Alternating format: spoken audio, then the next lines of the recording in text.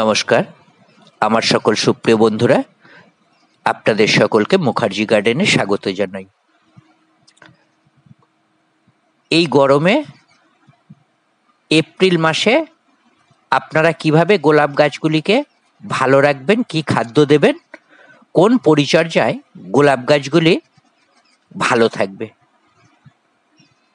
গোলাপ গাছের এপ্রিল মাসের খাদ্যসহ সম্পূর্ণ পরিচর্যা আজকের ভিডিওতে। ভিডিওটি সকলের জন্য, তাতে বাগানে গাছ কারও কম থাকুক বা বেশি থাকুক।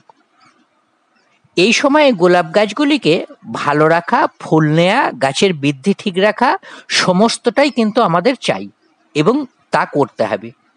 আমরা জানি যে গোলাপ গাছ তিরিশ ডিগ্রির বেশি তাপমাত্রা হলে গাছ ভালো হয় না। গাছ বাঁচানো অনেক সময় দুঃসাধ্য হয়ে পড়ে কখনো কখনো। আমি বলব, গোলাপ গাছের কিছুই হবে না। একটি গাছকে তার জীবনচক্র চালাতে প্রয়োজন হয় তার পরিবেশ, প্রাকৃতিক ব্যাপার ও খাদ্যসহ কয়েকটি জিনিস আমাদের খেয়াল রাখতে হবে। গতকালকের ও মার্চ এ মার্চ মাসের প্রথম দিকে কয়েকটি গোলাপ গাছের ভিডিও দেয়া আছে। সেখানে বলা ও দেখানো আছে যে কীভাবে প্রকৃতির হাত থেকে আমরা গোলাপ গাছ সহ অন্য যে কোনো গাছ আমরা কীভাবে রক্ষা করব? না, যার যেমন সুবিধা বা সাধ্যের মধ্যে সকলেই পারব যে কোনো একটি ব্যবস্থা নিতে। সামর্থ্য অনুযায়ী। এই প্রচণ্ড দাবদাহে গোলাপ গাছগুলিকে তার বৃদ্ধি, সবুজ, সতেজ ও প্রাণচঞ্চল রাখতে খাদ্যের একটু পরিবর্তন আমাদের আনতে হবে এই গরমের সময়। যে খাদ্যগুলি আমাদের দিতে হবে, ভারী খাদ্য ও পুষ্টিগুণ জাত, সময়ে হজম হবে, গাছ তাড়াতাড়ি গ্রহণ করতে পারবে। আমরা যদি জৈব খাদ্য দিই তা সেভেন্টি ফাইভ পার্সেন্ট লিকুইড খাদ্য দেব। আমরা গাছের খাদ্যটাকে এইভাবে ভাগ করে নেব। মাসের প্রথমেই দিন সামান্য পরিমাণ মানে এক চামচ খোল। এটা খোলটাকে ভিজিয়ে রেখে গুঁড়া করে নেবেন। তাহলে কিন্তু খুব ভালো হবে এই গরমকালের পক্ষে। তার সঙ্গে যে কোনো কম্পোস্ট সার এক মুঠো। আর যাদের গোলাপের মিক্স খাবার তৈরি করা আছে, শুধু জৈব এবং অজৈব দিয়ে এক মুঠো দিন। জল দেওয়ার আগে প্রথমে যারা পারবেন, নিম পাতা বেটে এক কাপ জলের সাথে মিশিয়ে টপটিতে দিন। যাদের নিম পাতা নেই, তাদের ঘরেও তো রক্ষা করতে হবে গোলাপ গাছটিকে। তারা এক চামচ ডাস্টবান কিংবা ফিউরেডান কীটনাশক, মাটির সঙ্গে দিন। কারণ এই সময় পোকা, কৃমি, কেঁচো, তারা নিজেরা বাঁচার জন্য মাটির তলায় যাবে। আর খাদ্য না পেলে শিকড়ের মধ্যে প্রবেশ করে রসটা খেতে থাকবে। তার ফলে গাছটি দুর্বল হয়ে পড়বে, শিকড়গুলি নষ্ট হয়ে যাবে। কখনো কখনো গোলাপ গাছটি এই অবস্থা হলে মারাও যেতে পারে। তার জন্যই নয় নিম পাতা বেটে এক কাপ নয়তো কোনো কীটনাশক ডাসবান বা ফিউরেডান। এক চামচ মাটির সঙ্গে মিশিয়ে তারপর জলটি দেবেন। ফলে গাছটি ভালো থাকবে এবং টবের পোকা, মাকড় যা থাকবে তা মারা যাবে। গাছটি দুর্বল হয়ে পড়বে না। সকলের জন্যই বলছি, যাদের বেশি গাছ আছে এবং কম গাছ আছে লিকুইড খাদ্যটা দিতে হবে। সপ্তাহে একদিন যে কোনো জৈব লিকুইড খাদ্য দিন সব থেকে ভালো। গোবর চা পাতা ও সবজি পচা জলটা দেয়া। ঘুঁটে ভেজানো জল খুবই ভালো হয়, হিউমিক অ্যাসিড এর কাজ করে, শিকড়ের বৃদ্ধি ও মাটির ক্ষমতা, তেজ ও শক্তি বাড়াবে। তাই গোবর কাঁচা না থাকলে ঘুঁটে ভেজানোর সঙ্গে আপনারা এইগুলো একসঙ্গে মিশিয়ে বা ভার্মি কম্পোস্ট একসঙ্গে মিশিয়ে, পচিয়ে নিয়ে তার জলটা টবের গোলাপ গাছে সপ্তাহে এক থেকে দুদিন দিন দ্বিতীয় সপ্তাহে খাদ্য দিন এনপিকে দশ, ছাব্বিশ ছাব্বিশ, এক চামচ। এক লিটার জলে গুলে দুশো এমল করে প্রতি গাছে দিন। এনপিকে কুড়ি কুড়ি স্প্রে করে দিতে পারেন। দিতে পারলে খুবই ভালো হয়, খরচাটা কম হয়, কিন্তু দাম বেশি এবং সমস্ত দিদিভাই ও বয়স্ক দাদারা সব সময় স্প্রে করে দিতে পারবেন না। আর একটা অসুবিধা হচ্ছে, গাছে স্প্রে করে সার দিতে হলে ভালো মেশিন চাই। ছোট হাত মেশিন পুরানো হলেই জল কুয়াশার মতো হয় না। মানে ফোয়ারাটা ভালো চাই, ভালো যেন গাছে স্প্রে করার সময় কুয়াশার মতো গাছে ঝরে পড়ে। কোনো মতে এই সময় পাতায় সারসহ মোটা জলের ফোঁটা যেন গাছের পাতায় না জমে থাকে। তাহলে গাছটি নষ্ট হয়ে যাবে। পাতাগুলি জ্বলে যাবে। তাই সব দিক চিন্তা করে আমার মতে জলের সঙ্গে গুলে মাটিতে দেয়াই ভালো। আর এটা সকলেই পারবেন। মাসে এটা দুবার দিতে পারেন।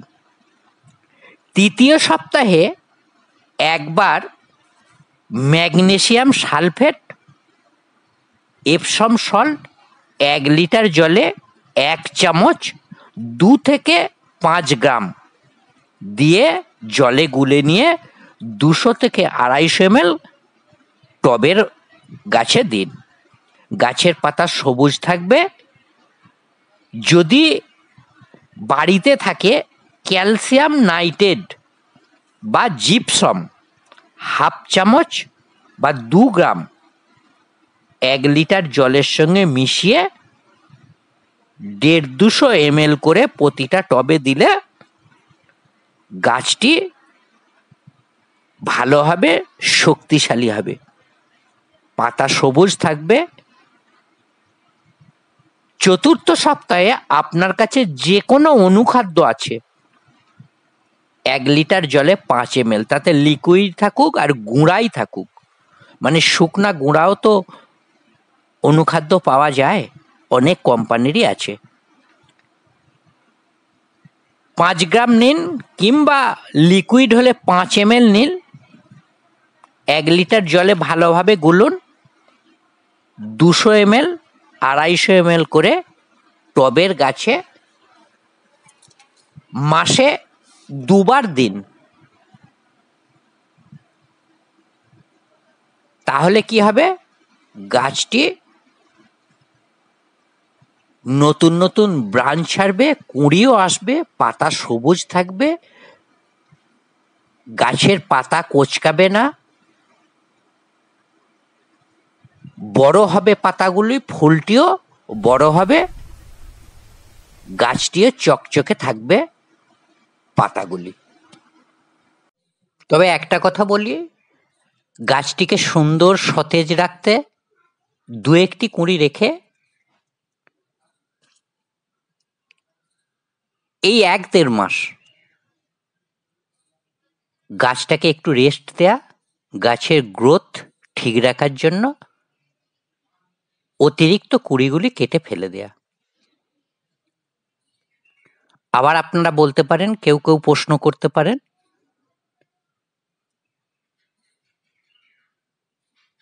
অনেকে প্রশ্ন করবেনও যে, তাহলে গরমে এত গোলাপ বিক্রয় হচ্ছে, তারা কীভাবে করছে? তারা চাষে প্রচুর করছেন এবং প্রচুর খরচ করেন এবং কুঁড়িটা বিক্রয় করেন ফুলটা নয়। আমরা কিন্তু বড় ফুলটা আমাদের গাছে থাকবে, কুড়ি থেকে ফুলটা হবে। তারা কিন্তু বড় ফুল গাছে করে না। কুড়ি হলেই কেটে জলে রেখে একটু বড় করে নেন এবং সেটা একটা আলাদা পার্ট।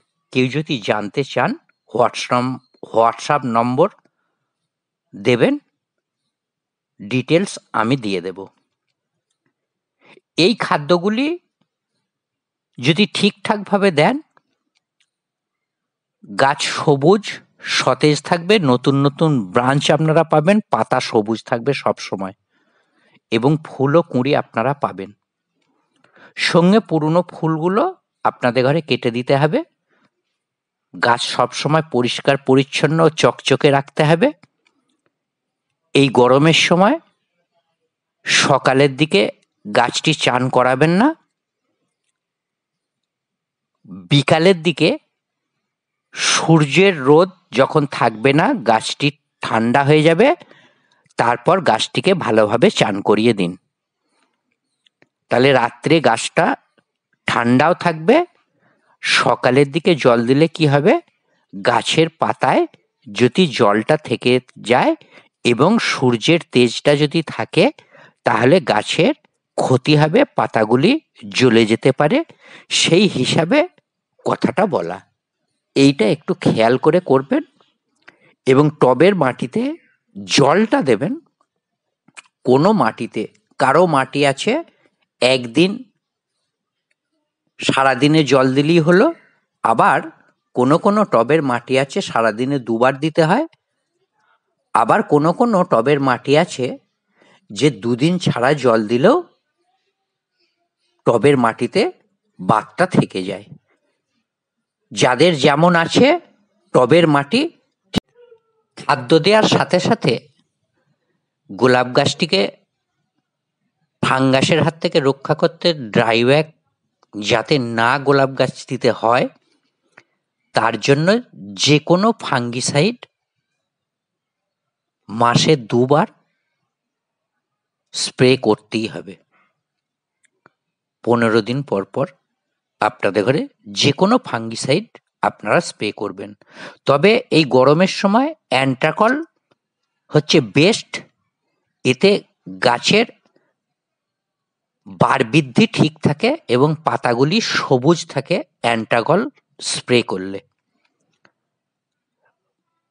গোলাপের রোগের জন্য অ্যান্টাকলটা বেস্ট এই গরমের সময় আপনারা যদি কেনেন, তাহলে অ্যান্ট্রাকল কিনতে পারেন। আর না হলে বাড়িতে যা থাকবে তাই দেবেন। পোকার জন্য মাসে দুবার গাছে স্প্রে করতেই হবে। কীটনাশক। আপনাদের হাতের কাছে যে আছে বা বাড়ির তৈরি, আপনারা নিম অয়েল বা নিম তুলসী আপনারা স্প্রে করতে পারেন, তাহলে কিন্তু সপ্তাহে একদিন করে স্প্রে করতে হবে। আর যদি কিনে দেন, তাহলে তিনশো তিন কাকা আপনারা স্প্রে করতে পারেন। বা সুপার সোনাটা এবং তিনশো তিন একবার করে মাসে দুবার। একবার তিনশো তিন একবার সুপার সোনাটা আপনারা গাছে স্প্রে করে যাবেন। বন্ধুরা, এই ছিল আজকের ভিডিও। ভিডিওটি যদি আপনাদের ভালো লাগে, তাহলে একটি লাইক দেবেন এবং মুখার্জি গার্ডেন চ্যানেলের সঙ্গে থাকার জন্য অনুরোধ করি, চ্যানেলটি সাবস্ক্রাইব করে অল নোটিফিকেশন বেলটি অন করে নেবেন ভালো থাকবেন, বন্ধুরা। নমস্কার।